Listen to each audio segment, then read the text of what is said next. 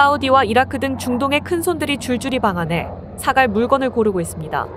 이라크에서는 4일 육군 항공사령관이 방문해 경남 사천 한국항 공우주산업 카이에서 수리온을 시승하고 상담도 했다고 전해졌습니다. 그리고 17일에는 이라크 국방장관도 내한 예정으로 알려졌습니다. 지난달 사우디 방산 전시회에서 수리온 헬기는 이라크와 수출 상담이 있었다고 알려졌는데요. 아마도 계약을 위한 후속 상담이 긴밀하게 이루어지고 있는 것으로 보입니다. 그리고 혹시 이번 이라크 국방장관 방한 시에 계약이 이루어지는 것이 아닌지 관심이 집중되고 있습니다. 사우디는 국방차관이 13일 방한하여 KF-21 천궁투와 도산 안창호함을 둘러본 것으로 전해지는데요.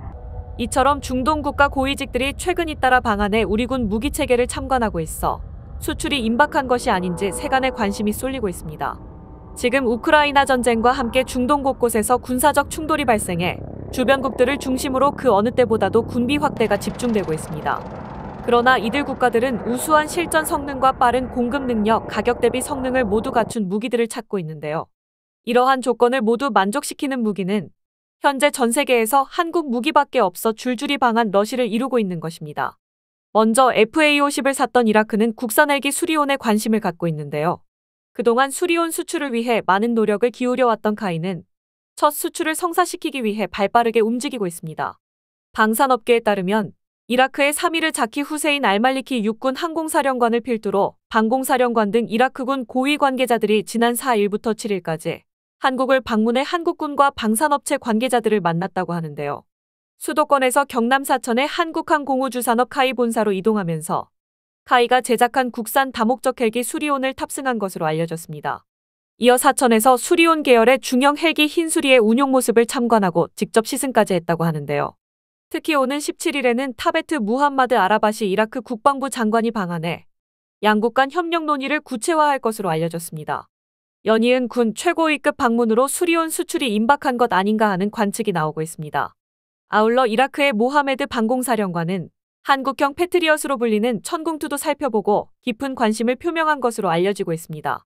이라크가 관심을 보이는 수리오는 방위사업청 주관 아래 국방과학연구소와 카이가 2006년부터 개발한 첫 국산 기동헬기입니다. 2012년부터 육군에 실전 배치돼 기동헬기와 의무헬기로 운용되고 있으며 각종 파생형 헬기들도 개발되어 있는데요. 이라크가 우선 관심을 갖고 있는 흰수리는 수리온을 기반으로 해양테러 해양범죄 단속 수색구조 등 해양경찰 임무 수행에 적합하도록 개발 개조된 헬기입니다. 순항속도 시속 240km의 항속거리 655km로 최대 3시간 30분 비행이 가능하고 고성능 탐색 레이더와 광학 장비가 탑재되어 있어 주야간 운항과 인명 구조도 가능한 헬기입니다. 또한 이라크 알말리키 육군 항공사령관은 방한 기간 신원식 국방부 장관도 예방하고 카이 이외의 다른 주요 방산업체들도 방문한 것으로 알려졌습니다. 이라크는 2013년 국산 경공격기인 FA-50 24대를 구매했는데요. 이는 걸프전에서 사담 후세인 축출을 위한 미군의 공격으로 괴멸되었던 공군력 구축을 위해 미국의 F-16 29대와 한국의 FA-50 24대를 구매하여 공군력을 복원하였던 것입니다. 이라크는 이후에도 원유 수송관 테러 등에 대비해 소형 정찰헬기 도입을 진지하게 검토해온 것으로 알려졌습니다. 수리온과 수리온을 플랫폼으로 개발된 해경용 흰수리, 경찰청용 참수리 등은 한국에서 이미 수년간 운용 실적을 쌓아 이제는 외국 바이어들의 관심이 높아지고 있습니다. 정부는 2010년대 중반부터 이라크, 인도네시아, 태국 등 여러 나라와 수리온 수출을 협의해왔지만 아직 계약 성사까지 이른 곳은 없는데요. 이라크가 군 고위장성까지 파견할 정도로 관심을 보여 첫 수출 성과로 이어질 것이란 기대가 커지고 있습니다. 다음은 사우디아라비아 국방차관의 방한 소식입니다. 사우디는 지난달 작년 11월에 계약 체결되었던 천궁투 10개 포대 32억 달러, 우리 돈 4조 2천억 원의 초대형 계약 사실을 지난달 공개했었는데요. 탈랄 압둘라 아우타이비 사우디 국방차관은 13일 2박 3일 일정으로 방한해 한국형 초음속 전투기 KF-21과 천궁투, 그리고 해상 기반 한국형 삼축 체계의 핵심 전력인 도산 안창호함을 둘러보았다고 합니다. 이는 도입 가능성을 염두에 두고 한국군의 무기체계 운용 모습을 살펴보는 행보로 해석되고 있는데요. 지난달 신원식 장관의 사우디 방문 당시 논의된 6세대 KF-21 전투기 개발과 관련해서도 추가적인 논의가 있을 것으로 보입니다. 그런데 눈여겨볼 점은 도산한 창호함에 대한 관심입니다. 사우디가 잠수함 전력 구축 계획이 발표된 것은 최근인데요. 총 4척 정도의 잠수함 운영을 구상하고 있는 것으로 알려지고 있습니다. 그리고 사우디 잠수함 도입의 중요 대상에는 도산 안창호함이 있다는 부분입니다. 그것은 사우디가 잠수함을 운영해 본 경험이 전혀 없기 때문에 세계적으로 소문난 잠수함 운영 국가인 대한민국의 잠수함은 물론 운영 노하우와 훈련 패키지가 필요하기 때문입니다. 따라서 사우디는 잠수함 도입 시 신뢰 있는 국가를 선택할 것이며 이는 대한민국 잠수함과 대한민국 해군 같이 믿고 맡길 수 있는 국가의 도움을 바라고 있다는 점입니다.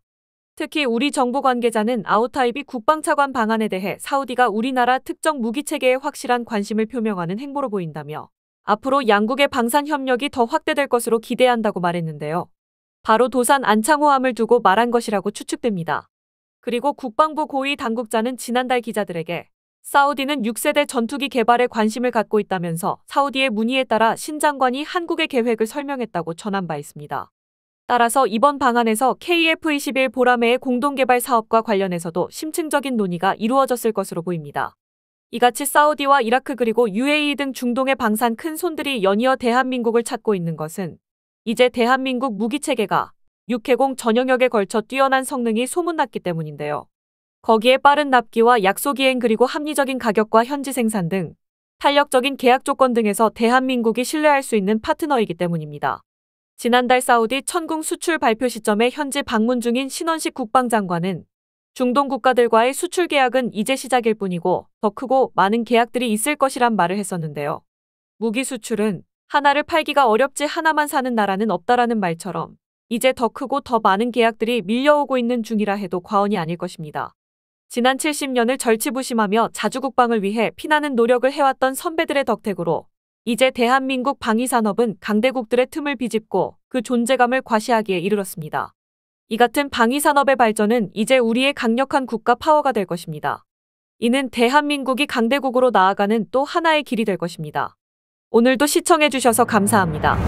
강대국이 되는 그날까지 강대국 코리아는 달려갑니다. 시청 감사합니다. 구독, 좋아요는 애국입니다.